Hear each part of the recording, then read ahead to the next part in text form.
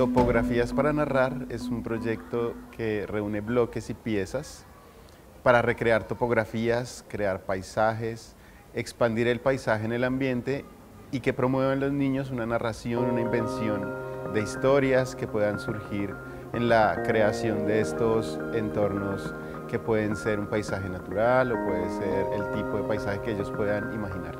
Puedes jugar a tratar de encajar las piezas con la posición, con el perfil que encaja perfectamente o hacer un juego más libre. Ensamble es un proyecto de diseño que promueve la imaginación y la interacción de, piezas. Eh, se complementa porque queríamos crear eh, un espacio habitado en el que fuese conformado por, por piezas geométricas.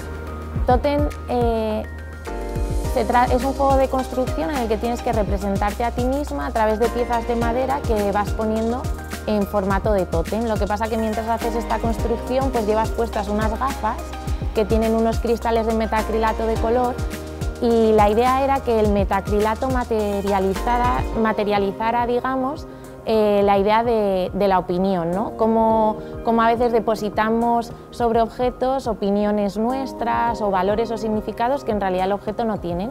Y eso lo conseguíamos con ese filtro de color que depositaba un, color sobre la madera que, en realidad no tenía. Equilibrium es un juego colaborativo de construcción en vertical en el que el niño experimenta pues, con diferentes eh, pesos y equilibrios. Se trata de ir colocando piezas sin que se caigan. Nuestro proyecto trata sobre diseñar eh, objetos que se adosen o que se acoplan a mobiliario doméstico que tenemos todos en casa. De tal forma que lo que hacemos es ampliarlos y permitir que podamos crear micromundos en torno a mobiliario cotidiano. La idea es tener al final como un kit que eh, si se está compartiendo también cada uno luego después se pueda ir bajando los elementos que quieras, los puede ir fabricando, porque al final con una impresora 3D en cualquier parte del mundo se lo pueden ir haciendo, corte láser, etc.